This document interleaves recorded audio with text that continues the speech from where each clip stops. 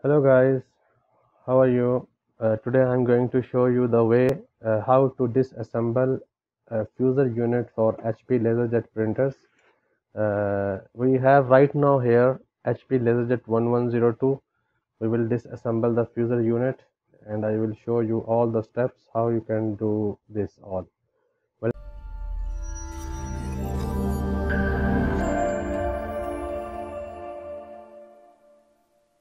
welcome to Smart Tech. Stay with me guys, see all the video and if you have any question you can ask me in the comment box.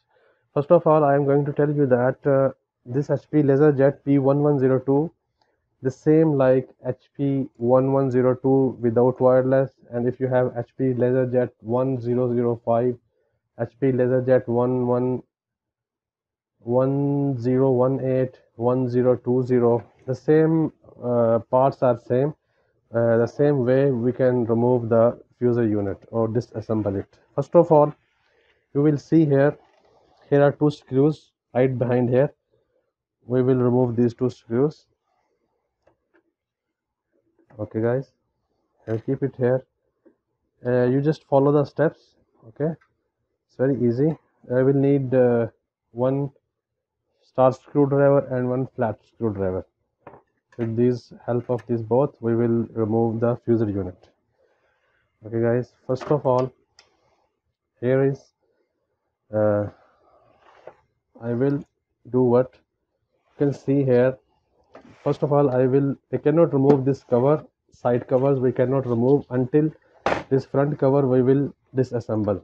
Okay we have to remove this front cover. Front cover we will remove how? Just see here. Here is lock. And one lock is here. Okay you can see. Front cover from down. From downside we remove the front cover. There are two locks here. Okay look front cover removed. I will keep it here front cover okay guys. These two screws i removed before from here. Okay now we will remove this side cover right and left. Okay there are some locks here so you have to be careful. One lock is here. Okay one lock is here. And one lock is right downside two locks here. So with the help of these locks we will uh, remove these side covers. First of all i will do it from here. Just see follow the steps. Okay then the front uh, side here. Okay. Now from the down. Okay you can see it's near to remove. Okay. The side cover is removed. In the same way we will fix the side covers. Now the left side cover same like this. One lock is one lock is here and two locks is here and one right in the top. Okay? Here is one lock so first of all I will remove this lock guys and then from right downside okay it's removed lock now the one lock is upside. Okay look the other side cover also removed. Now guys here we have we have to do we have to remove these two screws. One screw is here and one screw is here and we have to remove this. Okay. This all step just we have to do for remove or disassemble the fuser unit. Today i will just show you how to remove the fuser unit okay then in my another video i will show you how to change the sleeve. Okay guys these two screws i removed here. Now you can see.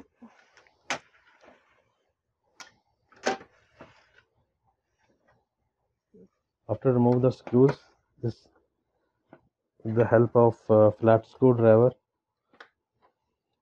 there is one lock. Look it's right upside came this is one iron shaped uh, back cover with right with this here so I will remove. Okay.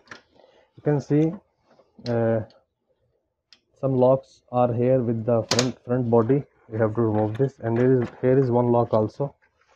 You can see here is one lock. We will remove this lock. Okay. Then this is also uh, disassembled. The front cover and the top cover now we remove all the covers right cover left and right behind and top one. So we have this. This is a fuser unit we will disassemble. Okay guys? First of all I will remove the power for the board data cable and remove the board because some cables are here.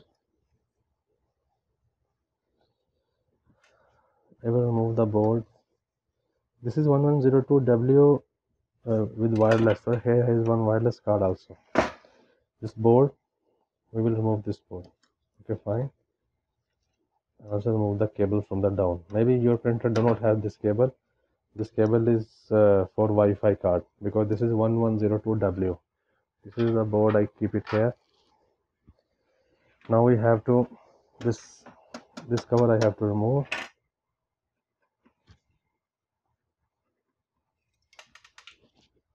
this fall down no problem I'll keep it take it again I have many screws uh, extra because I always open these uh, HP LaserJet fuser units. Okay, look, this is the wireless card for 1102W. So guys, we are almost near. Here are some cables. We have to remove the cables. First of all, this cable is for ground for heater uh, fuser unit. Okay, I remove this cable. Then again, here is you can see here are some cables. One for is already someone uh, alterate uh, this uh, fish. Okay look they change the connector for this fuser. It means this fuser is already changed. Someone changed this fuser. Guys these are the cables we will remove because this is coming right behind from the fuser unit. You can see okay these cables are removed. I will do what here? Okay these cables are here. So now two uh, one this is the plaster cover here right here plaster cover. There is a downside one screw. We have to remove this screw. We have to first of all I will remove this plastic because there is down screw for fuser I will keep it here because we'll fix back it again. Two screws here as you can see. One screw is here and one screw is here down. Okay? These two screw we have to remove.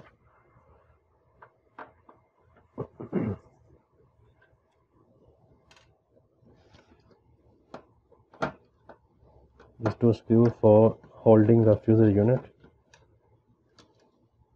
Guys and one cable is coming.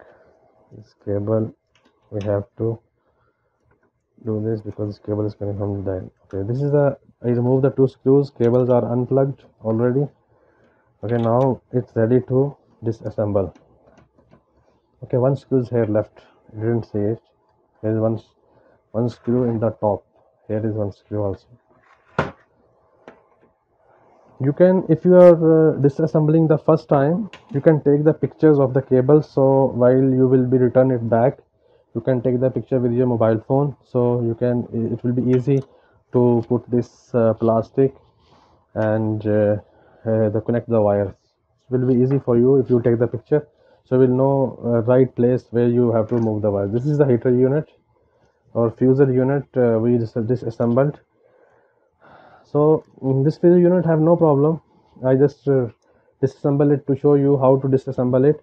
In my next video i will show you how to change the fuser sleeve. This is inside fuser sleeve. I will show you how to change the fuser sleeve. So guys if you have any question regarding this fuser unit you can ask me in the comment box.